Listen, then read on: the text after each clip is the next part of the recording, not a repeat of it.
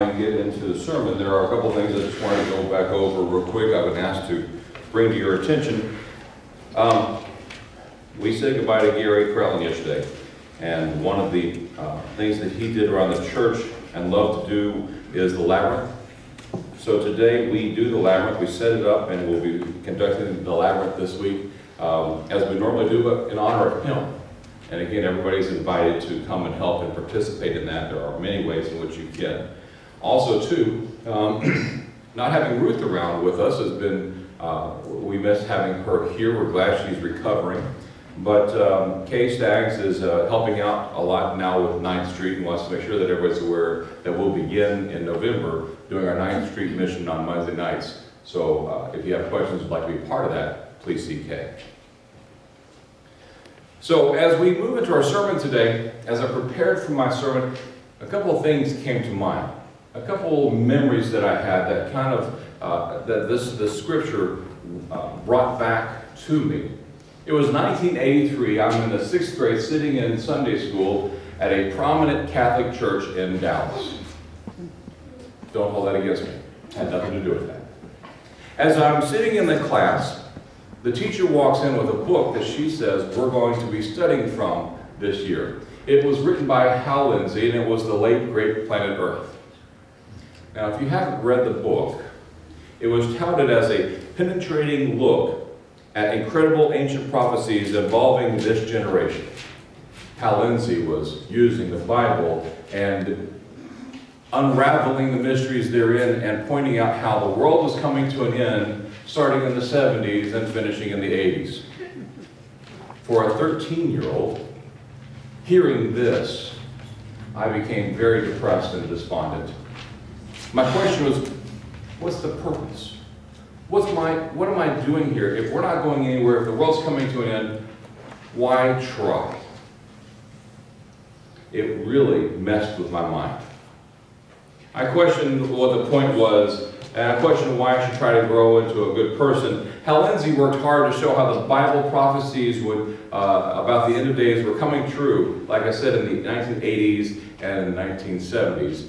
And here we are in 2020, and as we look back, as predicted, the world came to an end. Soviet Union invaded Israel. Europe became the revived uh, Roman Empire under the rule of the Antichrist. It was a tumultuous few years, wasn't it? Now, if you're sitting there looking at me like, what are you talking about? Obviously, that stuff didn't happen. Hal Lindsey wrote a book about all this was going to happen, and none of it came to pass. Likewise, March 26, 1997, the San Diego Sheriff's Department found 39 people dead, members of the Heaven Gate, Heaven's Gate uh, uh, Society. These folks who believed that an alien spaceship behind the comet Hale-Bopp was coming to take them home. How sad for them that the advanced alien technology that was offered was limited so much so that they couldn't collect their alive bodies, but only their souls. My answer to that is, sorry, I think I'll wait for the next spaceship that has te teleport technology, or at least a space shuttle to pick me up. Prognostication. Prognostication, the, the, the, the prophetic envisioning of what is to come. The fruitless endeavor that predicts when the end and how the end will come. The issues with this practice, while many, a few of them are, first off, getting it wrong.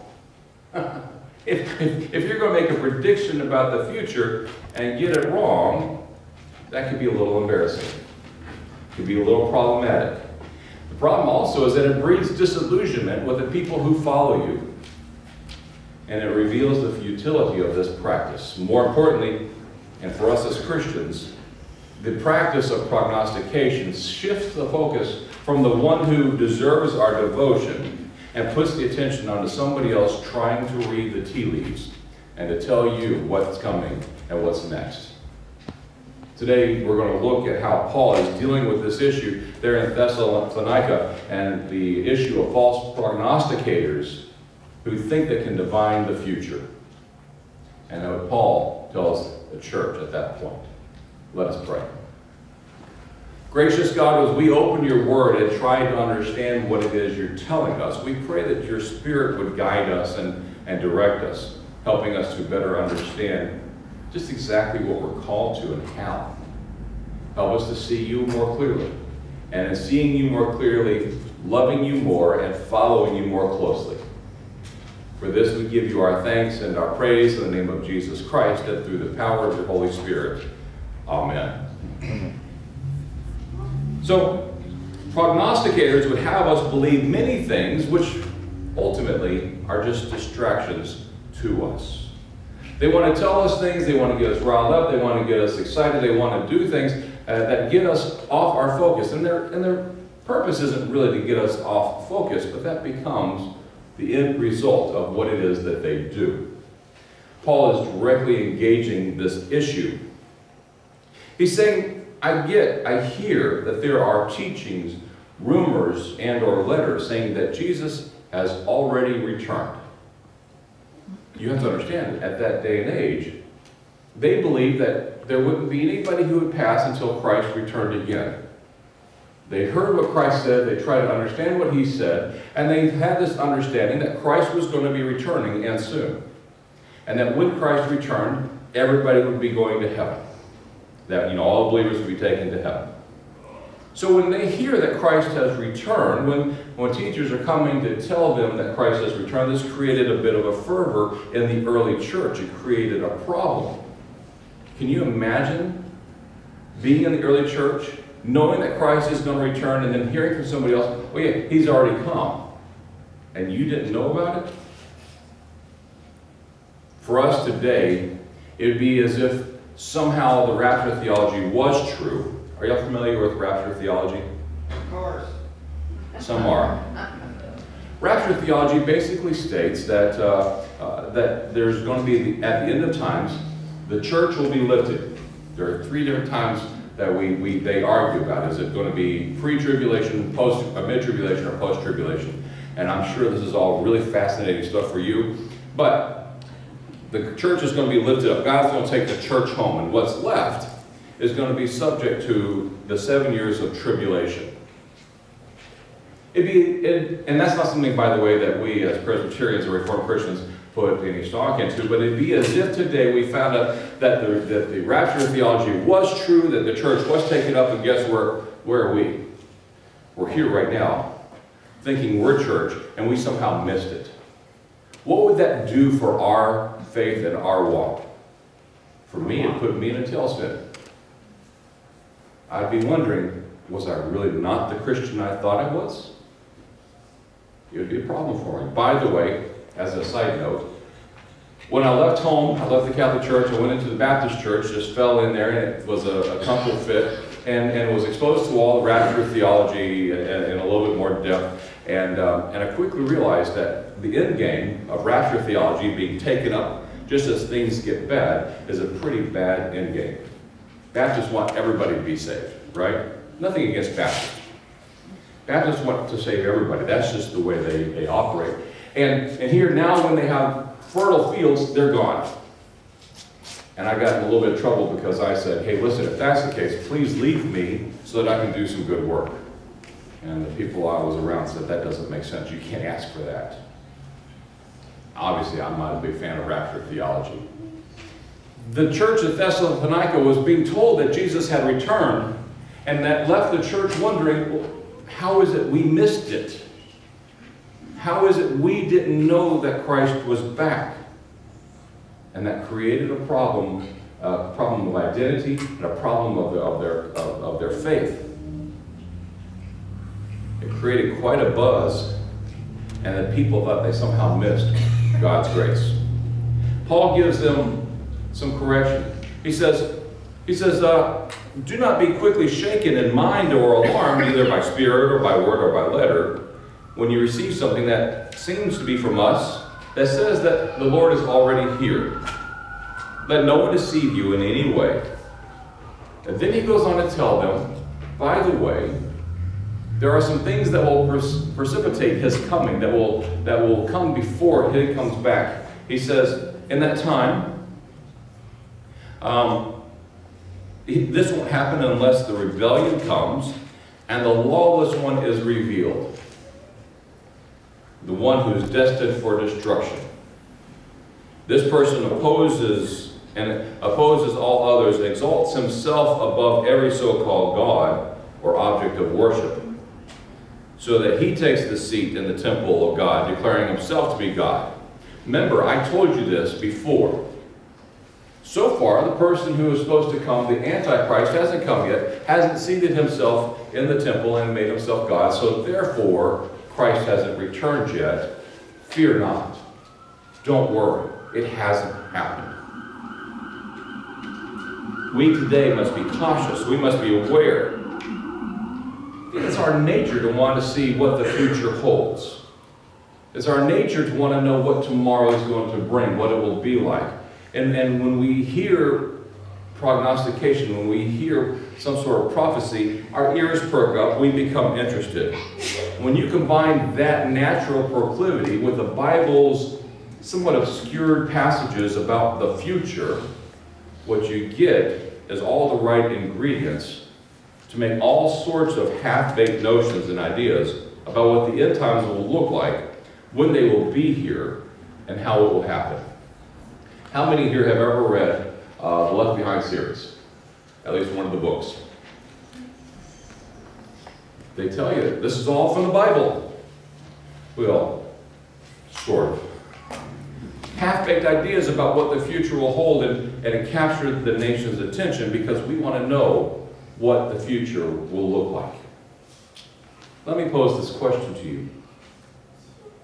What is the benefit of spending tremendous amounts of time and energy to know the how and the when of our days. What's the benefit? Is your faith somehow improved by that? If you knew what the dystopian future was going to look like and when it was going to come, would your faith be any stronger because you knew? How does faith suffer when the dates are proven wrong? We could ask Harold Camping, or anybody who followed him.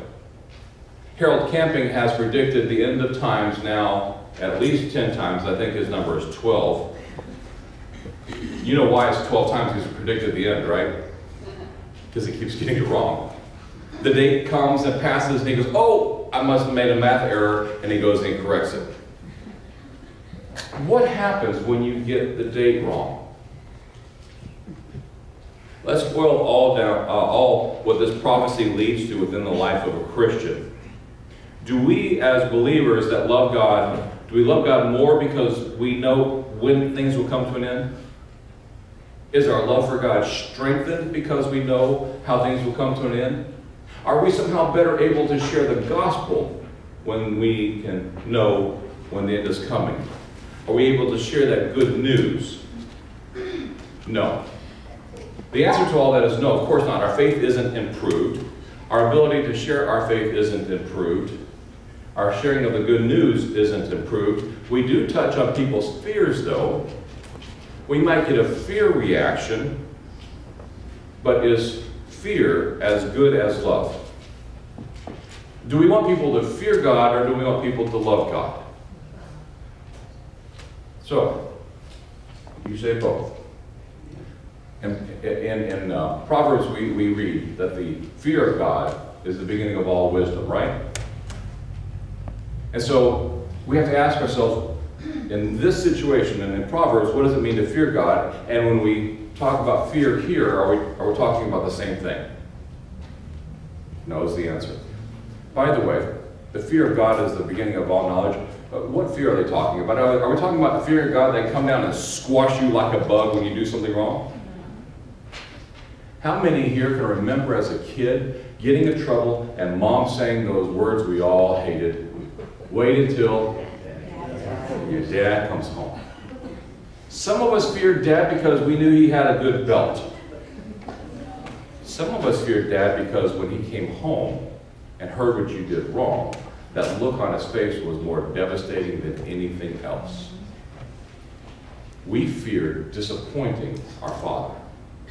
The fear of God as the beginning of all wisdom isn't this fear of a God that is, is powerful and that can squash you. The fear of God is the fear of disappointing God.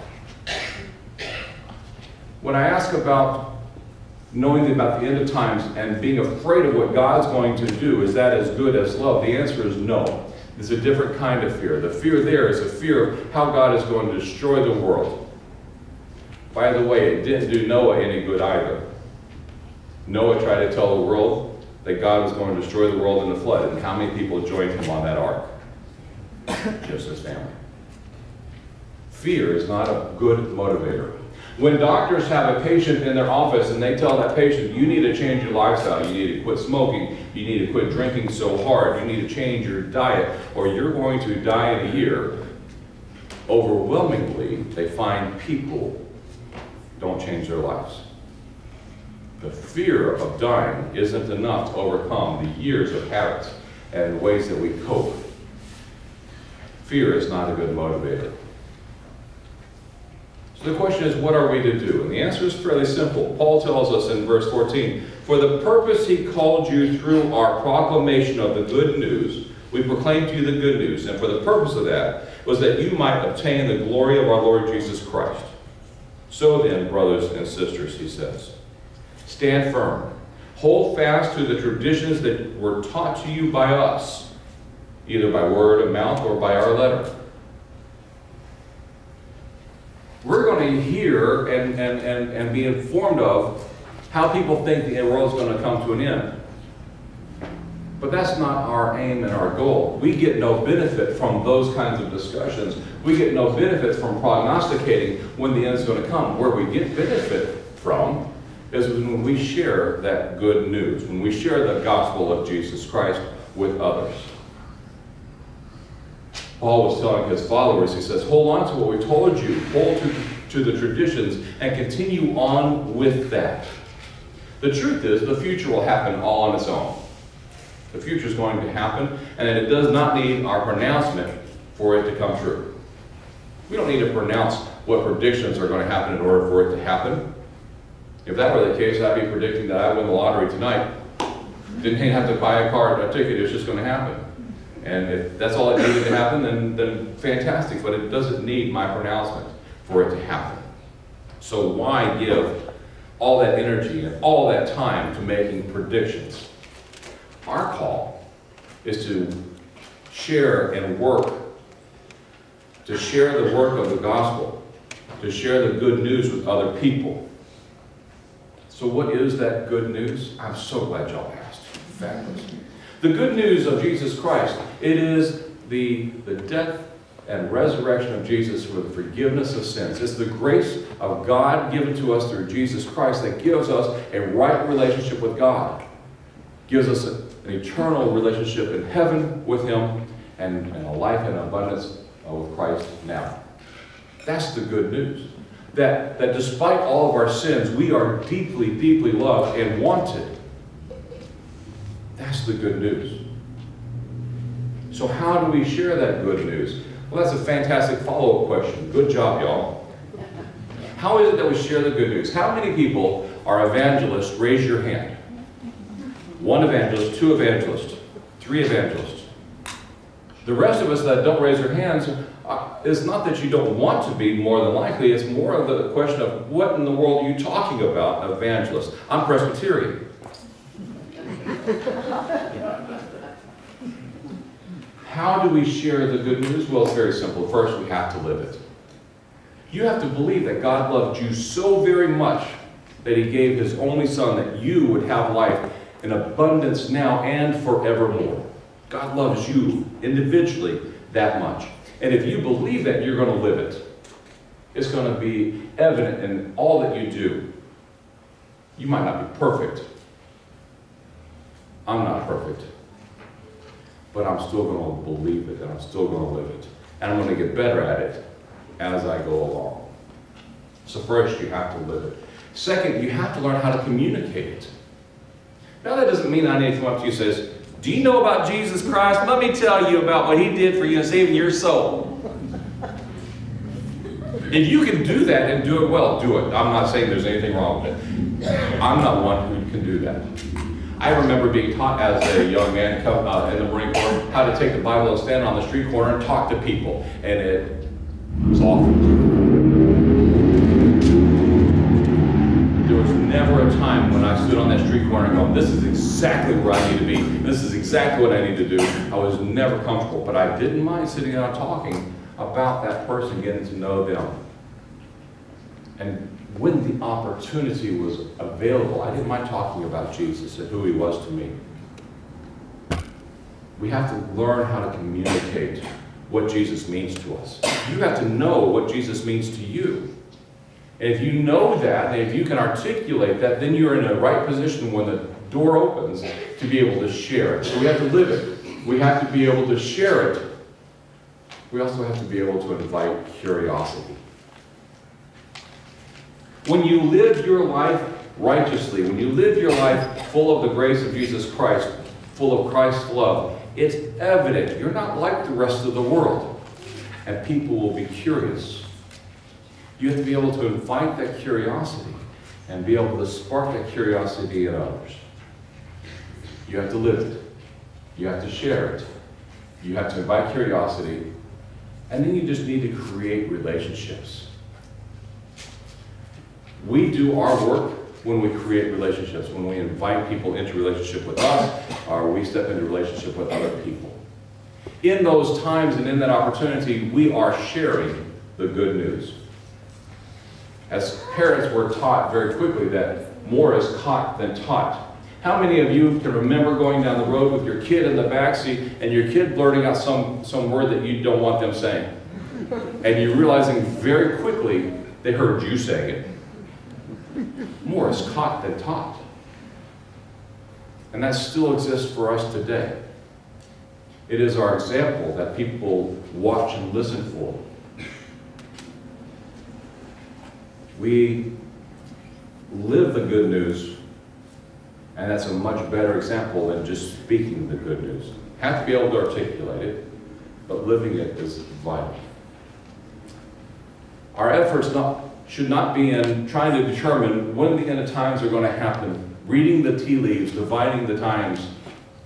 That's spending way too much time and energy in an effort that doesn't lead us anywhere into a deeper walk with Christ. That time can be better spent by living the gospel, sharing the good news with others, sharing God's love with others, and the future will happen. It'll happen. We don't have to worry about it. I live my life based on what happened 2,000 years ago on a cross and in an empty grave, not on what might happen tomorrow. And I find I'm much happier for it. We all will be. The world will be much happier for it as well. What's our focus? Jesus Christ. Relationship with God the Father. Not on some future that we don't know exactly what it looks like. To God be the glory now and forevermore. Amen. Let us pray.